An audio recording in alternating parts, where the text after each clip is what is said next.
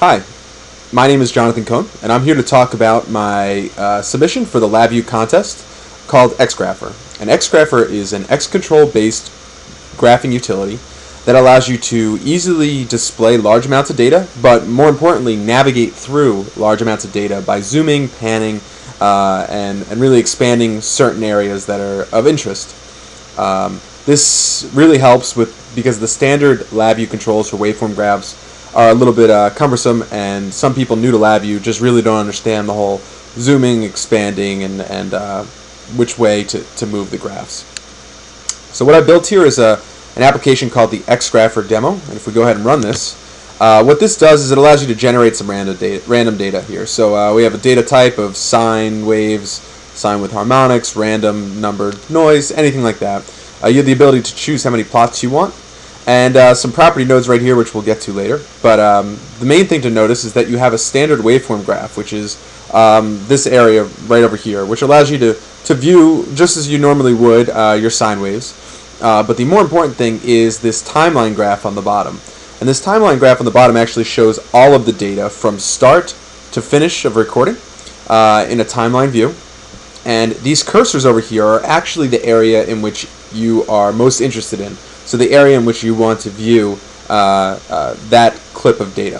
So think of this, if anyone's ever done any video editing, uh, you can go and crop your area and view that in a more important way. So what we have here is a left and a right cursor, which actually highlight when you move your mouse over them.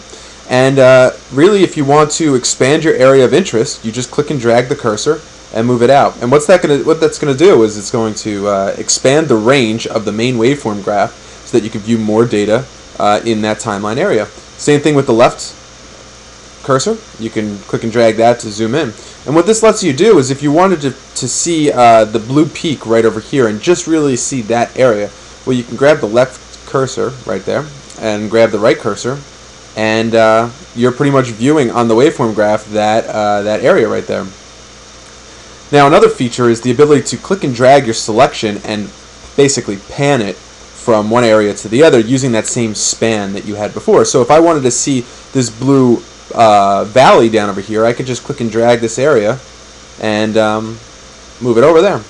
Uh, so you have the ability to expand, which is the uh, the same as zooming in and zooming out, and you have the ability to pan, which is the same thing as shifting the time frame uh, of your graph. And um, there are some other nifty features in here which, if you play around a little bit more, you'll see. Uh, for instance, you don't have the ability to click and drag the selection outside of the region. It'll actually stop right there. It butts up against the edge. Uh, same thing with this area over here. Um, if you start dragging and you get very close to the edge, uh, it's going to stop and uh, butt up against there.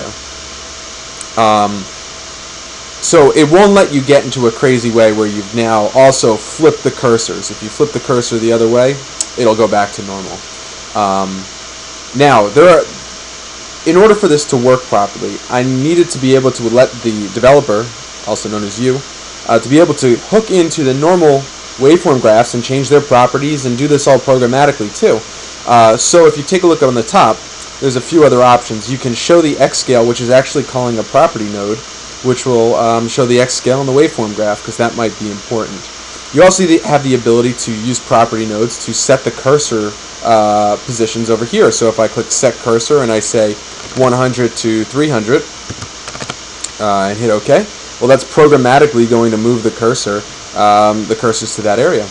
Um, there's also another feature here which I put in last minute, which uh, is called cursor redraw.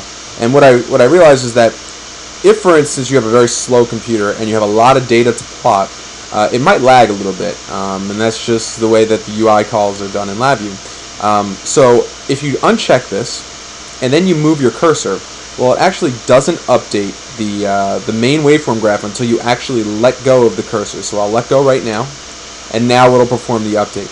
The same thing with shifting the graph. It won't update until you finally let go, and then uh, that click will send the event to redraw the screen. Uh, I've never seen any lag problems with my computer, so I just normally keep it on all the time. Uh, one other feature that I added last minute was the ability to track uh, a waveform graph with your actual with your mouse. And uh, what this will do is plot a little dot on there. And if you take a look at the top left-hand corner, this will show you the uh, position x and y of the data point that you're looking at. To change plots, all you do is move your mouse over that plot, and um, you can track that one. So it just gives you a nice way of, of viewing data, representing it a new way. Um, there are also some other hidden features. Uh, for instance, right-clicking on the uh, timeline graph will allow you to get a, a, a, menu. For instance, selecting all will expand the cursors all the way out uh, to their extremes. Um, you can also send a, a right-click, set set the right cursor position by right-clicking, and that will expand out. And you can also um, set the left right over here. You can also set either right or left in the center, and that'll shorten it up. So programmatically, you can pretty much do anything with this. Um, and this is all contained within an X control. So the data type of this whole section over here is just a waveform graph, uh, an array of doubles. Uh, and in the next video, I will actually show you the block diagram of this, as well as the block diagram for uh, the X control itself, and I'll show you how things are done. So I hope you like it, and if you do like it, don't forget to vote. Thanks!